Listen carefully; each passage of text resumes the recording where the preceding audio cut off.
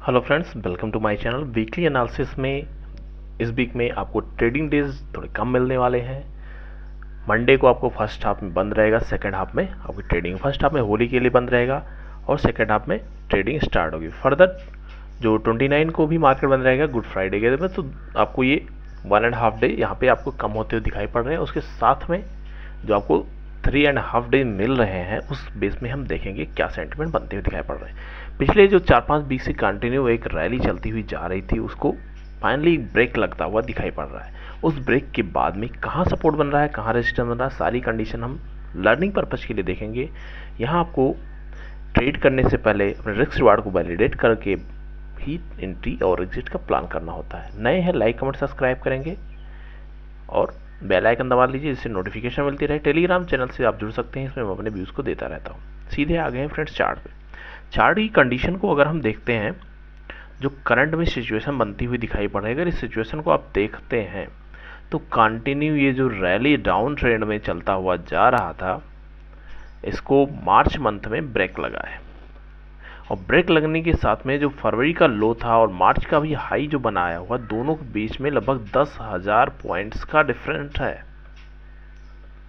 ये इंपॉर्टेंट यहाँ बना हुआ है। दस हज़ार पॉइंट का इसमें यहाँ पे डिफरेंस देखने को मिला है।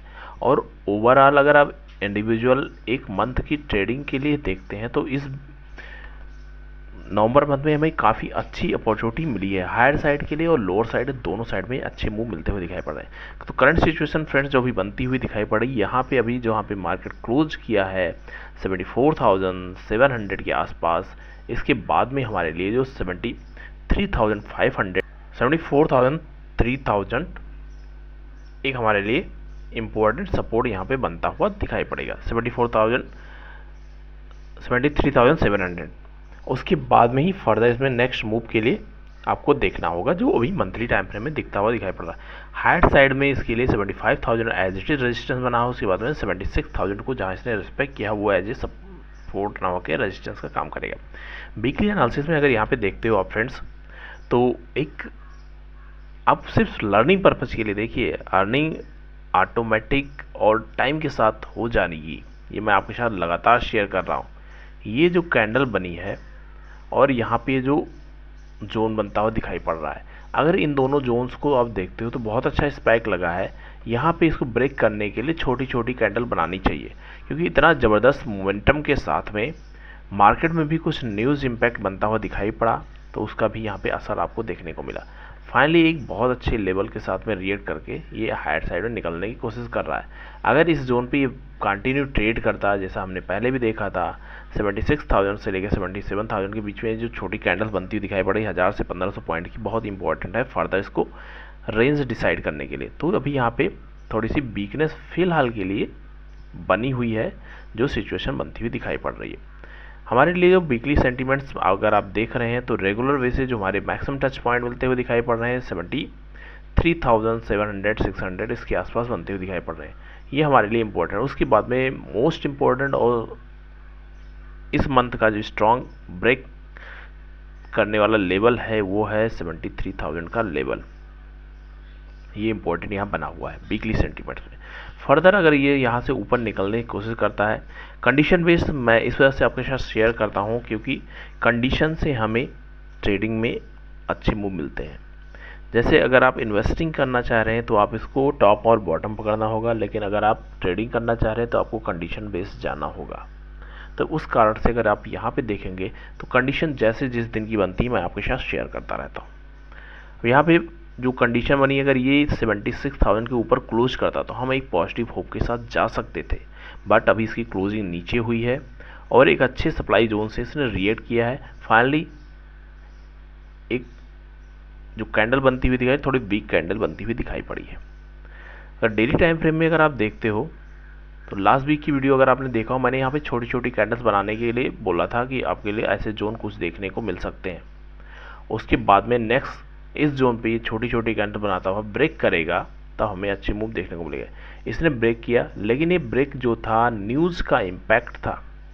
जो फेड ने कुछ होप दिया है कि रेट कट होगा, लेकिन अभी वो बेट एंड वाच सिचुएशन बना इस वजह से डॉलर इंडेक्स में उतनी ही तेज़ी देखने को मिल रही है, और इधर उतनी ही थोड़ी सी मंदी देखने को मिल रही है।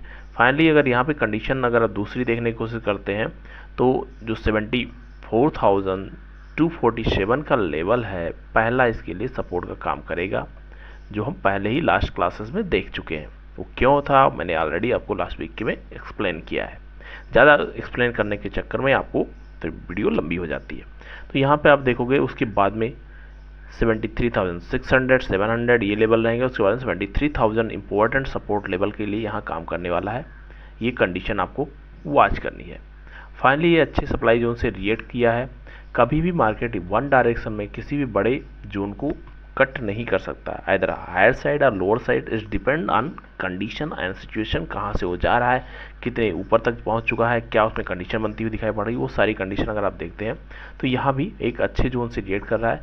फाइनली छोटी छोटी कैंडल बनाने के साथ में लोअर लो का पैटर्न बनता हुआ दिखाई पड़ रहा है यहाँ भी। क्लोजिंग पॉइंट ऑफ़ व्यू से अगर आप देखते हैं तो। तो यहाँ भी हमें थोड़ी वीकनेस देखने को मिल रही है।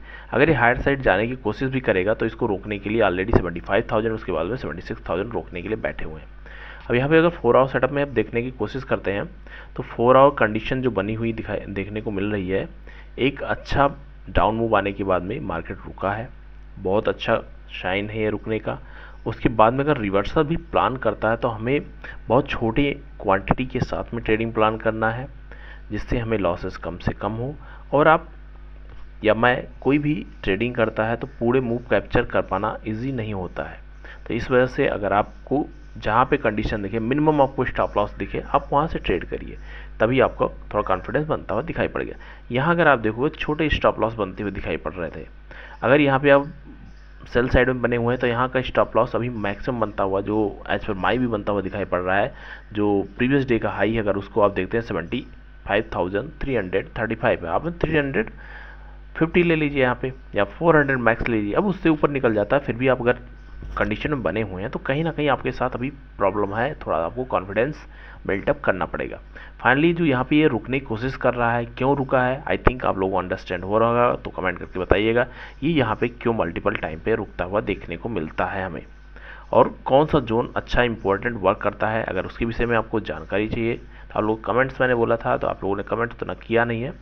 जब तक आप लोग कमेंट एक लेवल तक नहीं आ जाते, तब तक उसके विषय में हम फर्दर डिस्कस नहीं करने वाले हैं। तो इस वजह से आप कमेंट करेंगे तो हम उसमें आपके साथ और शेयर कर सकते हैं। ये यहाँ पे सिचुएशन सिमिलर बनती हुई दिखाई पड़ रही है। यहाँ पे छोटी छोटी कैंडल्स बनाएगा। उसके बाद में seventy six thousand important resistance level है। पहला resistance seventy five thousand five hundred है। हो सकता है इसको इजी वे से ब्रेक कर दे, लेकिन सेवेंटी सिक्स थाउज़ेंड के ऊपर निकलने के बाद में क्लोजिंग करना स्टार्ट करता है और फाइनली वीकली क्लोजिंग हो जाती है, उसके बाद ही हमें नेक्स्ट मूव देखने को मिलेगा। और जो यहाँ पे ब्रेकआउट लेवल है, बहुत अच्छा बना हुआ है। इसको अब सस्टेन करना चाहिए या फिर रुकना चाहिए?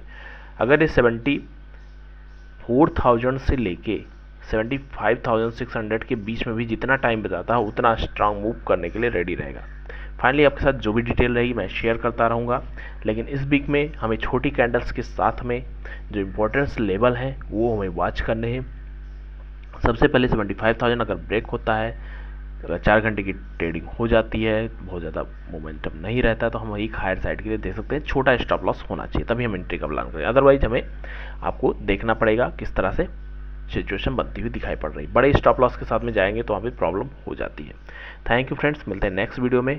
एक हमें इस वीक में ट्रेडिंग डेज़ कम है तो एक रेंज में मार्केट के साथ में 73,600 इंपॉर्टेंट सपोर्ट लेवल के साथ में 76,000 इंपॉर्टेंट रजिस्टेंस लेवल है। ये हमारे लिए दो इंपॉर्टेंट जोन निकल के आते हुए दिखाई पड़ रहे हैं।